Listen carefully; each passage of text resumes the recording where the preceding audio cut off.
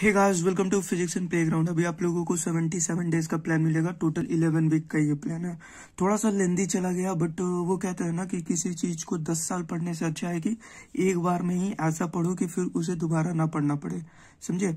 और इसीलिए थोड़ा सा लेंदी लेके जाओ। टाइम आपके पास बहुत है। मे में, एग्ज़ाम पक्का नहीं होगा कन्फर्म रखो। ये ट्वेंटी सेकेंड फैब से लेकर के नाइन्थ मे तक का ये पूरा का पूरा शेड्यूल है। ये रहा आपका शेड्यूल समझे? तो अब देखो, जैसे ये बुक देख रहा हो ना, एक साल से पढ़ रहा हूँ मैं इसे समझे, अभी तक कंप्लीट नहीं हुआ। और क्योंकि सोच रहा हूँ कि अगर सही तरीका से प्लान अगर किया जाए इसे तो वन एंड हाफ़ ईयर लगता है इसको, पूरा वीज़ा वगैरह सारा कुछ देख करके। जाना आना स्टेप वन यहाँ है स्टेप टू सी के सिर्फ़ यहाँ, फिर सी एस के लिए आपको जाना पड़ेगा। सो वो सारा कुछ प्लान वे में होता और अगर नहीं होता तो आप समझ नहीं सकते हो, बहुत बड़ा लॉस है, बहुत बहुत बहुत ज़्यादा लॉस हो जाता। समझे? तो ये नीट पीजी और नीट यूजी की तरह नहीं है, तीन घंटे का एग्ज़ाम जा करके, दे करके आ गए। आठ घंटे, नौ घंटे का एग्ज़ाम होता है चार चार एग्ज़ाम होते हैं। और इंटरव्यू वगैरह आठ, नौ घंटे का होता। है रिसर्च करना पड़ता है विदाउट रिसर्च किए हुए, इसमें दाल गलने वाली। नहीं है, समझे? सर्जन बनना तो रिसर्च करना पड़ता।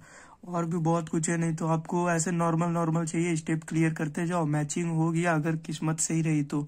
तो आपको फैमिली डॉक्टर और जनरल मेडिसिन मिल जाता है। मेनली यही मिलते हैं। सर्जन बनना मतलब वो समझो कि माउंट एवरेस्ट चढ़ना होता। रिसर्च करना और खुद का पेपर लिख करके देना सबमिट करना होता। बहुत बहुत ज़्यादा हाई लेवल की चीज़ें है, वो सब पे छोड़ो, इधर आ जाओ। नाइन्थ मई तक का ये प्लान है ट्वेंटी सिक्स फेब से नाइन्थ में मतलब मई में आपका एग्ज़ाम नहीं होगा, ये कंफर्म रखो थर्ड वीक ऑफ़ जून या जुलाई में होगा आपका एग्ज़ाम समझे? तो इतने अच्छे से पढ़ो, इतने अच्छे से पढ़ो कि फिर दोबारा नेक्स्ट ईयर ना पढ़ना पड़े। और मैं प्रॉमिस करता हूँ कि आप जहाँ कहीं पे भी होगे ना इंडिया के गवर्नमेंट कॉलेज में, और इंटर्नशिप के टाइम आप सिर्फ़ कॉल करना मुझे। पक्का आऊँगा, समझे? और ये अलग फ़ील्ड है। करोगे इंटर्नशिप तो उसमें बहुत ज़्यादा मज़ा आता है, बहुत ज़्यादा। ये जो फ़ील्ड है उसमें बहुत ज़्यादा मज़ा आता है। जैसे खुद का एग्ज़ाम्पल दूँ तो ओपन हार्ट सर्जरी और उसके साथ मोहम्मद रफ़ी के गाने। समझे? ये जो कॉम्बिनेशन है ना ओपन हार्ट सर्जरी जहाँ पे आपका हार्ट अरेस्ट करवा दिया जाता है। आर्टिफिशियल से आदमी ज़िंदा है।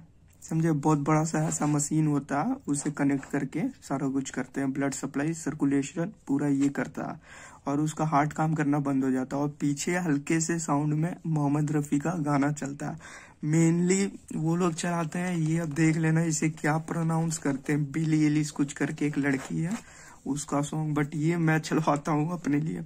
तो ऐसा है ये फ़ील्ड। बहुत बहुत मज़ेदार है। थोड़ा मेहनत है। मेहनत ऑफ़ कोर्स कुछ पाने के लिए कुछ यार आपको करना पड़ेगा। समझे? सो so, ये ये प्लान प्लान आपको मैं पीडीएफ फॉर्म में दे दूँगा और आप कर सकते हो। मार्क्स के लिए बिल्कुल मत पढ़ना। रैंक के लिए पढ़ना। रैंक ऑल इंडिया वन ठीक है? अब ये आपको जो भी लगे मैं बोल रहा हूँ आप कर सकते हो। ऑल इंडिया रैंक ला सकते हो मतलब रा सकते हो। समझे? कुछ भी इम्पॉसिबल नहीं है यार। कुछ भी इम्पॉसिबल नहीं है। ये सब अभी सीए का रिज़ल्ट हुआ, मेरा एक फ्रेंड था, वो मतलब क्या बोलू? निकाल लिया। एक बार भी ड्रॉप नहीं, कुछ नहीं फोर एंड हाफ़ ईयर लगा, हो गया। समझे? साथ में पढ़े बचपन से, और उसका सीए क्लियर हो गया। तो वो बोलते हैं ना सीए करने के लिए आठ साल, नौ साल लग जाते हैं। वो सब सिर्फ़ बोलने के लिए है, पर अगर किया जाए तो बहुत आसानी से कर सकते हैं।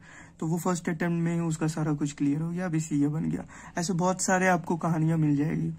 समझे नीट हो या कुछ भी हो तो आप कर सकते हो। ऑल इंडिया रैंक के लिए प्रिपेयर करो मार्क्स के लिए प्रिपेयर मत करो। मार्क्स आपका जैसे रांची रिम्स का 603 और बिहार में 620 के करीबन कट ऑफ़ जाएगा।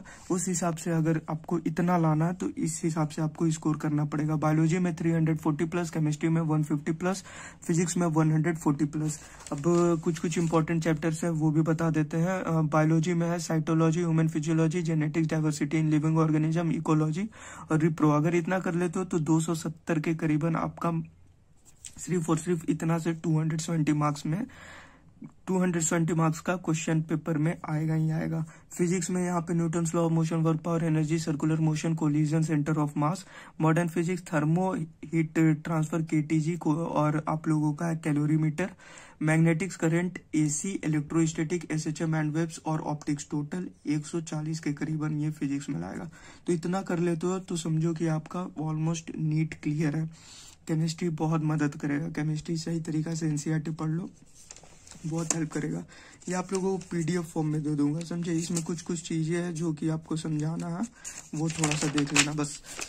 यहाँ पे जैसे ये जो डैश और एरो दे रखा है, इसका मतलब है कि रिपीट करना है। मतलब कि जो मंडे को आप लोग पढ़े ना मंडे ट्यूसडे वेडनेसडे करके दिया, वही आपको ट्यूसडे को भी पढ़ना है। और सैटरडे संडे कोशिश करना है कि एग्ज़ाम देने के लिए, समझे? और एग्ज़ाम देना सैटरडे संडे को। यहाँ पे मैंने खैर खुद से भी लिख दिया है कि सैटरडे संडे को आपको एग्ज़ाम होना ज़रूरी है। आप लोगों को नाइन्थ ऑफ़ मे को ऑलमोस्ट खत्म हो जाएगा। सिर्फ़ फिजिक्स के दो चैप्टर बचेंगे। दो चैप्टर क्या है? एक टॉपिक है यूनिट डायमेंशन एंड मेज़रमेंट ये आपको नाइन्थ को नहीं खत्म होगा, ये आपको इलेवेंथ को खत्म होगा। बाकी नाइन्थ को आपका सारा कुछ मैक्सिमम चीज़ें खत्म हो जाएगा। सिर्फ़ और सिर्फ़ फिजिक्स बच रहा बायोलॉजी बहुत पहले खत्म हो जाएगा। अगर इसको फॉलो करते हो तो केमिस्ट्री भी खत्म हो जाएगा गैसेस एक है, वो गैसेस से क्वेश्चन पूछे जा रहे हैं। फ़िज़िकल केमिस्ट्री से एक चैप्टर है गैसेस वो देख लेना। कम्युनिकेशन आप लोगों का फिजिक्स में बचता है रोटेशन बचता, वही लास्ट तक घींचा। ग्रेविटेशन भी एक है ग्रेविटेशन छूट गया इसमें। यहाँ पे ग्रेविटेशन भी है। समझे जो छूट गया उसे आगे बढ़ा लेना, बस। ये ग्रेविटेशन अगर लोगे ना तो ये भी वेडनेसडे से अगर स्टार्ट करते हो तो Thursday Friday Saturday Sunday Thursday Friday तक तीन दिन काफ़ी है ग्रेविटेशन के लिए। दो क्वेश्चन पूछे जाएँगे, बहुत ही इजी क्वेश्चन होंगे। सैटेलाइट पढ़ लेना सैटेलाइट से एक क्वेश्चन 2021 में आएगा मतलब आएगा। समझे? उसका वेलोसिटी वगैरह देख लेना सैटेलाइट का। तो ये था सारा कुछ आपके शेड्यूल और ये मिल जाएगा पीडीएफ फॉर्म में, क्योंकि एक एक चीज़ बताऊँगा तो बहुत ज़्यादा टाइम लग जाएगा वीडियो में। समझे? तो इसलिए इतना पे ही रखता हूँ। लिंक मिलेगा पीडीएफ में जाकर के क्लिक कर लेना। So thanks and best of luck for your exam फिर से बोल रहा हूँ कि आप कर सकते हो। ऑल इंडिया रैंक पे फोकस करो मार्क्स पे फोकस मत करो।